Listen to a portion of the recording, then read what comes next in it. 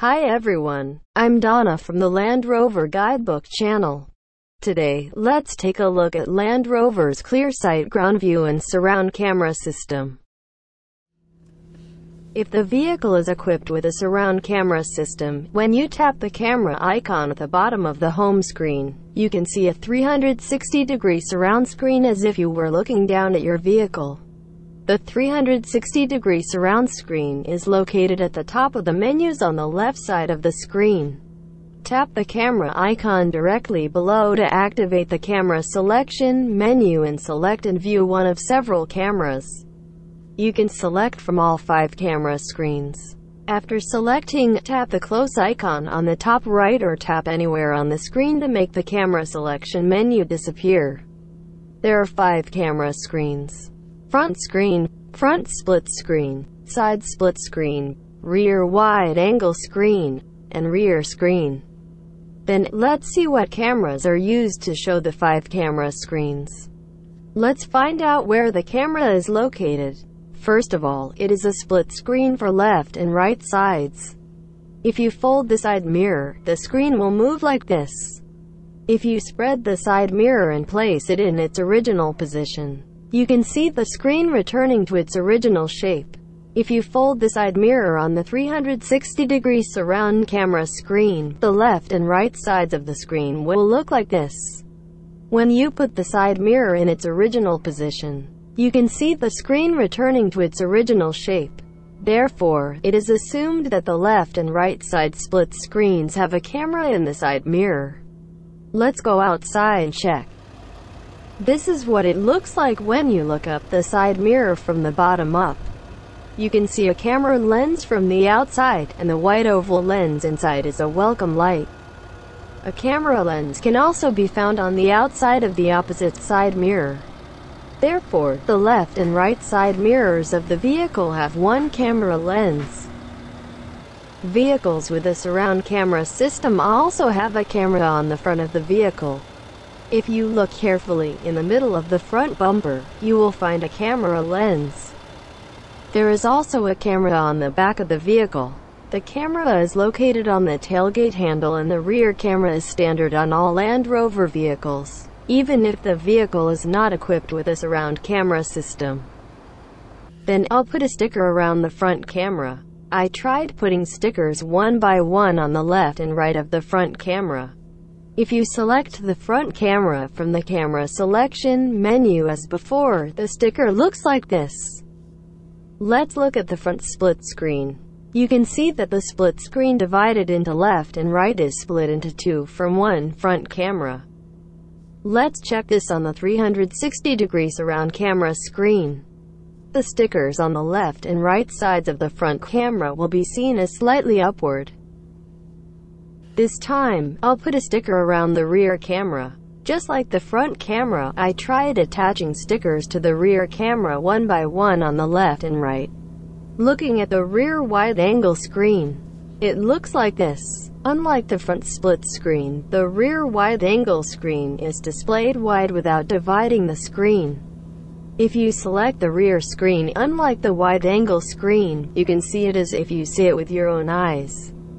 This time, let's look at the 360 degree surround camera screen. The stickers pasted to the left and right are not easily visible. You can see that it is shown in the center. Then, I'm going to block the front camera and the rear camera with stickers. Let's look at the front camera first in the camera selection menu. Since the front camera is completely covered by the sticker, you will not see anything on the front camera screen. Even when viewed in the front split screen, nothing can be seen. However, since no stickers are attached to the side mirror camera, you can see the left and right side screens. The rear camera, like the front camera, is completely covered with a sticker, so you can't see the rear wide-angle screen and the rear screen at all. The front and rear camera parts are not visible even on the 360 degree surround camera screen. When the driver's door is opened, the camera part of the side mirror is also disabled and appears black. The passenger seat door is the same. If you look at the left and right split screens in the camera selection menu, unlike the 360 degree surround camera screen, you can view the screen because it does not cover the camera in the side mirror. Please remember which part of each of the four cameras on the 360 degree surround camera screen you are currently viewing. Closing the passenger and driver's doors will reactivate the camera. The driver assistance in the instrument panel menu is provided with an optional cross-traffic monitor menu. If the vehicle has a surround camera system, it is divided into forward and reverse. When the gear is in D mode and low speed, a warning light and a warning sound alert you when an object approaches from the left or right of the front of the vehicle. If the vehicle does not have a surround camera system, if there is an option, the gear is in R mode, and when the speed is low, it will notify you when an object approaches from the left and right rear of the vehicle. This time, let's find out about ClearSight Ground View. It is activated by tapping the icon at the top of the left menu on the camera function screen of the vehicle with ClearSight Ground View applied. On the screen where ClearSight Ground View was first launched, the part of my vehicle is displayed in black. The tires shown on the screen are not captured by the camera, but are expressed graphically. As you move the steering wheel, it behaves exactly the same. Now, when you start moving the vehicle slowly forward, it will gradually start to appear underneath my vehicle, which is black. As shown in the banner guide at the top of the screen, the look under my vehicle is not real-time. It shows the front of the vehicle captured by the front camera as it moves behind. Also, one black diagonal line is visible to the left and right of the screen.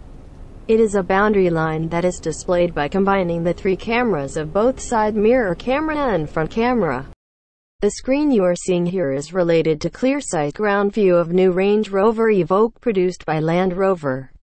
Demonstrates how to use the ClearSight Ground View on function not only off-road, but also useful in the city of on-road. Like this, even when passing a narrow road that can barely pass a car, the ClearSight Ground View allows you to safely pass through the blind spot on the underside of the vehicle, which is hard to see.